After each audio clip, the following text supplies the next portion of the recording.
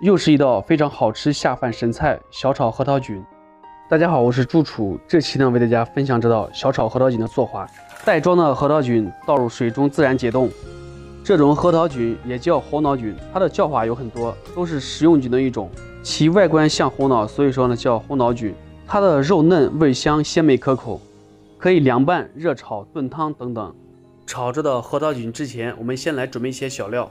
先把大葱白直接切成小段。小米辣直接斜刀切成片，不能吃辣的朋友呢可以不放。香菜准备少许，把叶子去掉之后切成小段备用。准备一些大蒜子，直接改刀切成蒜片。小料全部准备好之后，下面开始改刀核桃菌。化完冻的核桃菌呢，直接改刀切成片，切的厚度跟一元硬币差不多，不要切的太薄，太薄的话影响口感。核桃菌全部改完刀，下面开始开炒。点火起锅烧水，首先先把核桃菌焯下水。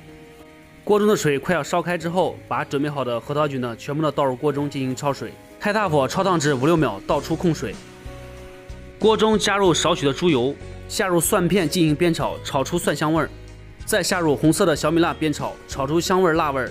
再把准备好的葱粒呢倒入锅中一起煸炒，炒出葱香味儿。加入少许的蚝油提鲜。再往锅中呢加入少许的水，这个水呢不要太多，少许即可。这个时候再把焯完水的核桃菌倒入锅中。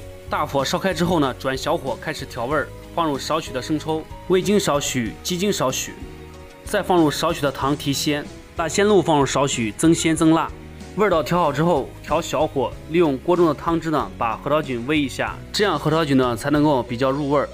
核桃菌煨至两三分钟以后，锅中的汤汁变少，最后呢再把香菜根呢倒入锅中，翻炒几下之后，勾入少许的薄芡，开大火继续的翻炒。最后在出锅之前淋上少许的葱油即可出锅，一道非常好吃、鲜嫩脆爽的小炒核桃菌就做好了。这道小炒核桃菌做法简单，我们在家中也可以操作。